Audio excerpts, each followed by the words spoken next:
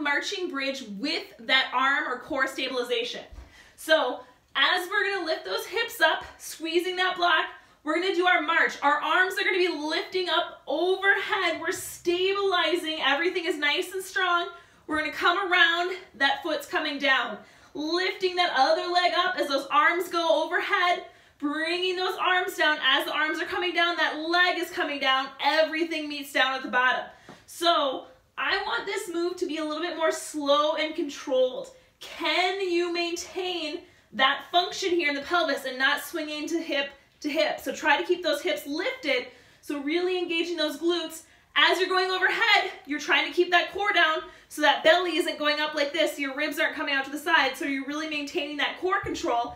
Everything's coming up, everything's going down. So again, if that's too hard with the arms going overhead, stick to the marching bridge and we'll add the arms in a little bit later.